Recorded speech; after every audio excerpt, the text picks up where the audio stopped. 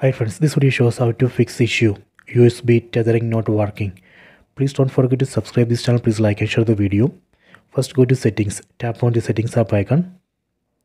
Go down. Go to about device. Tap here. Go down. Tap on version.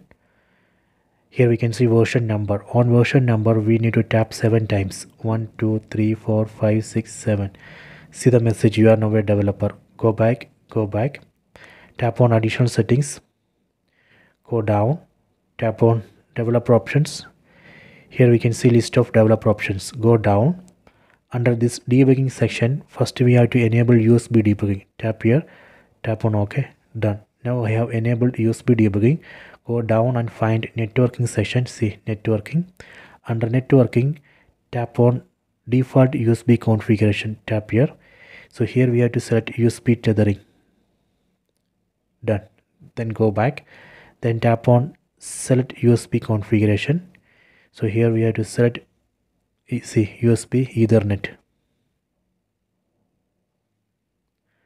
Done. So this way we can fix that issue. Okay so you can check this. I hope you have enjoyed this video. Please subscribe this channel. Please like and share the video